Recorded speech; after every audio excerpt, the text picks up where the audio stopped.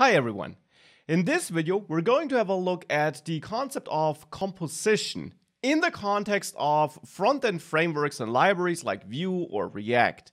And we're going to have a look at what composition means and why it's a useful pattern, which you probably are already using. At least you should. So what is composition? I prepared a very simple React project here. Here it is, which only does one thing. It renders two alert components here. One of them is dismissible. Now I'm achieving this in this very simple project by having two components, an alert component, which in the end is just rendering a div with some dynamic content, which can be passed in from outside where I'm using that component. And I'm having a dismissible alert component, which is using that alert component to then just also add a button besides that outside content. And that's composition in action already. It actually already starts with the normal alert component.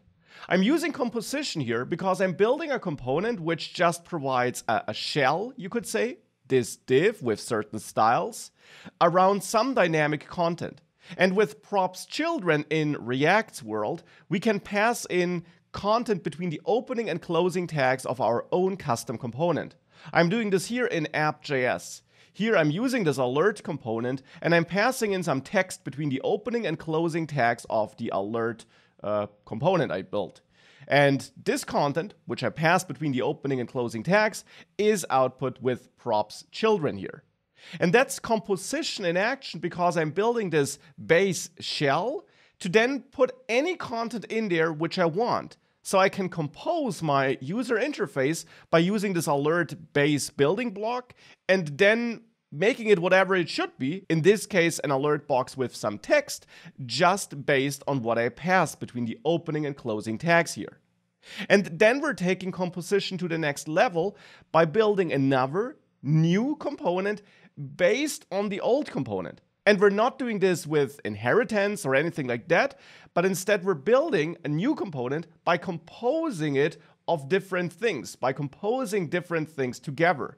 In the end here, we're composing this dismissible alert component by combining the existing alert component with any external content with props children, just also wrapped between a span here, and by then combining this external content with a hard-coded button which closes this alert. So we're building a new component with composition here because we're combining an existing component, we're adding that into our JSX code here with some new markup and the content which is passed in from outside. And that allows us to use this dismissible alert like this, just by again passing in some text, but we have this extra functionality of being able to close it just because of composition here. Now, you were probably already using composition when you were working with React or with Vue or with Angular. And I want to say that Vue and Angular also know that feature. In Vue, you use the slot component. In Angular, you use the ng content component.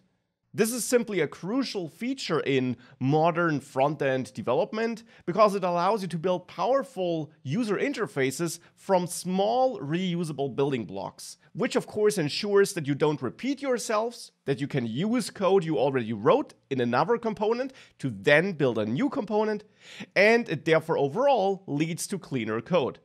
And I just want to emphasize this and reintroduce this concept you might already know so that you also know its official term and understand the reasoning behind it, because understanding the reasoning behind what you do is never a bad thing.